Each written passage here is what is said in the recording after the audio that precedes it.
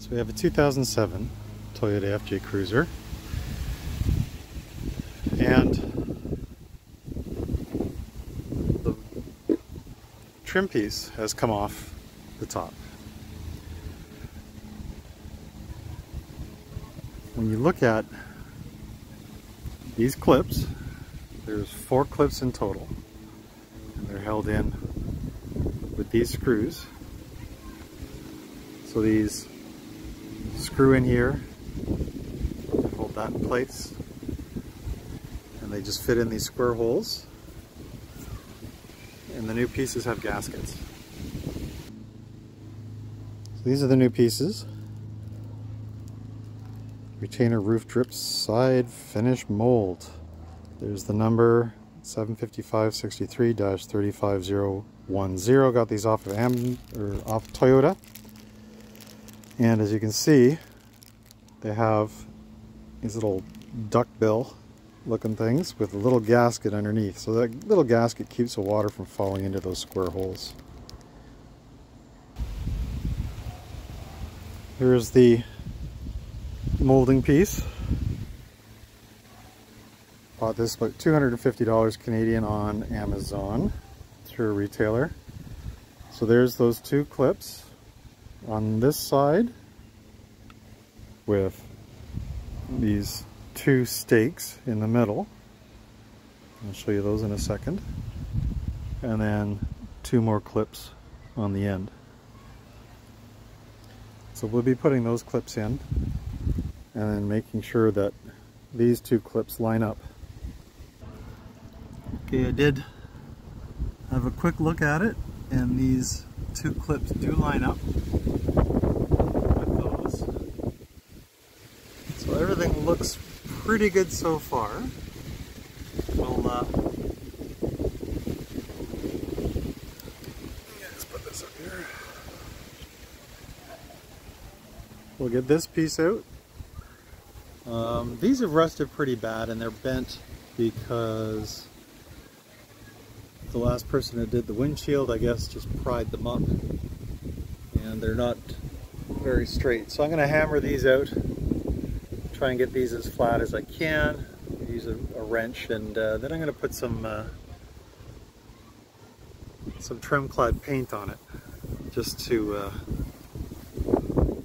stop all the rust that's around these holes, clean it up a bit. Here's what the clip looks like. It's uh, a solid piece and that gasket makes a waterproof seal against the square opening on the roof. So it has to maintain that water tightness. And the way it goes in, uh, when it's attached to the roof, you'll see it's got these little wings that push against it and then this lip under here that attach that uh, clips into this piece here. So as you get it in place and push it down, it'll lock itself in. That's I think why you need to buy these new uh, get replacement ones because when you look at these older ones, um, the uh, the the angle there may not be 100% after you pry this thing off or pry the uh, other trim piece off. Um, I guess over time they may become brittle.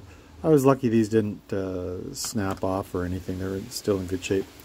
Um, one thing is uh, I would recommend if you're going to buy these uh, anyway from a Toyota dealer, get these screws. They're uh, they're weird. Um, it's a 10 millimeter uh, they almost look like uh, small uh, sheet metal screws, but um, uh, I looked through my whole collection of, of, screws and everything. I couldn't find them, and they have to be a certain size because you can't um, go too far into this because if you break through on this side of this waterproof um, fitting here, um, you could possibly have leaks because uh, although it will seal on the top here, there's still a, a possibility that it'll, it'll leak past. So I'm going to reuse the old screws. Unfortunately, they're uh, um, not in good shape, but I don't want to um, wait around uh, to order these uh, screws or try and find a match for them. So I'll just put the old ones in and I'll give them a little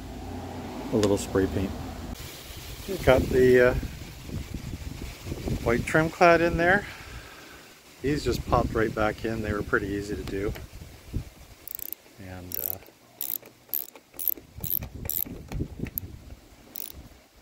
simple 10 mil. Just lightly snug it down. Has to be too tight. I think if you if you snugged it down too tight, the whole thing starts twisting. So just snug is good.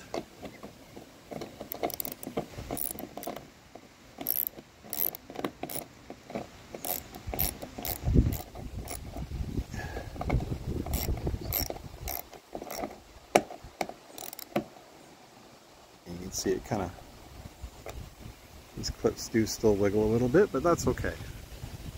They're in there pretty good. I'll just give these a shot of spray paint on the heads of these screws and we'll go take care of the trim.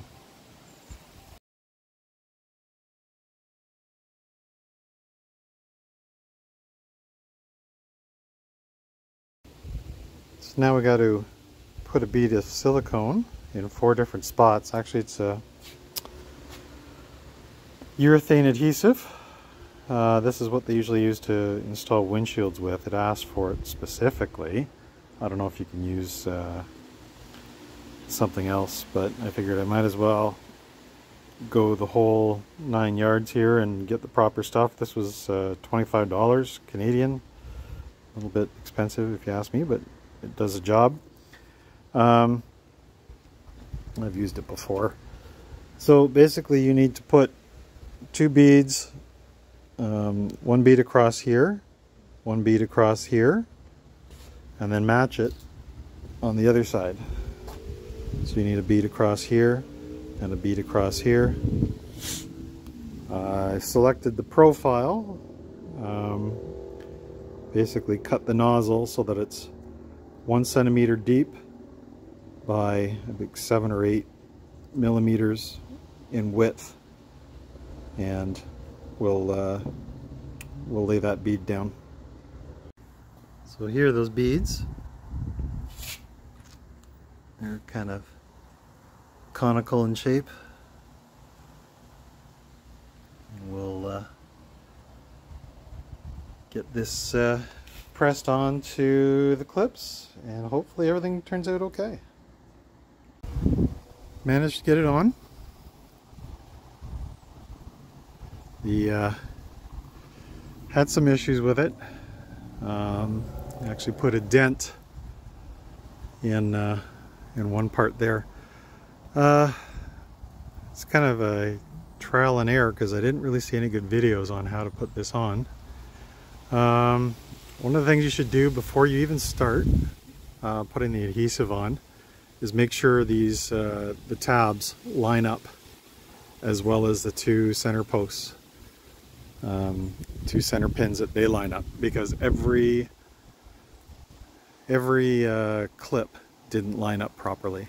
So I had um, the black adhesive got over everything. I used some brake clean to to get it off but it, it made quite a mess. And um, another thing to note when you um, when you put the clips back on, make sure there's ample room between the windshield and the clip edge because I think what was happening was there was some adhesive in the way and when the when this came down on it it couldn't go down far enough to clip in so that's where the hammer came in and um, kind of dented this little piece here. Unfortunately, I won't be able to fix that. Um, it looks uh, looks and feels secure. Uh, I have to wait, uh, I think it's five hours for the adhesive to cure before I can drive at this temperature. But I'll uh, I'll give it a, uh, a day. I'll uh, take it out tomorrow. But anyway, that's it. Um, it is on And uh, I hope this video helps uh, some people when they uh, try and do this themselves. Thanks.